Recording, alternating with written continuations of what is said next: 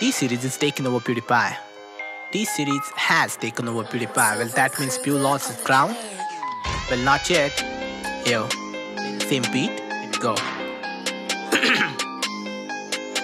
Let's talk about this. PewDiePie versus T-Series. It started as a joke, kid. It's not a diss track, so smoke it and take a chill. I support Pew, cause an individual creator dominating YouTube.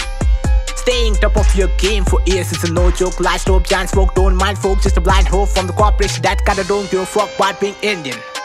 This beat is dope, so I wrote this track to support an individual, a human being, not a corporate's evil king. This jungle is filled with a living, breathing being, so why to give a throne to machine? It's a stupid thing to do, even your lucid dream. See, talk about you, I don't really like him, but he represent all of us, common man with a dream, who finally made it big. Now great bit range from a lightning is frightening. Look at this fight scene, man versus army. Corporates might win. It'll be alliances for them to take this great platform and then they'll use individuals as a bait. It's a heated debate.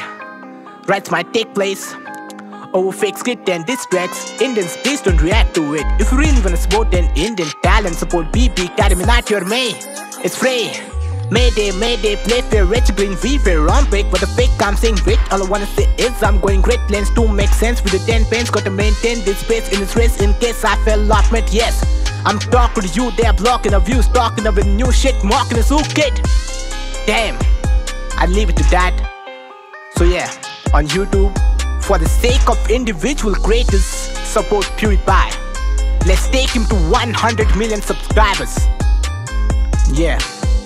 Also, if you like rap, subscribe to Rapcrawlers and press bell icon. Again, for the individual creators. Peace.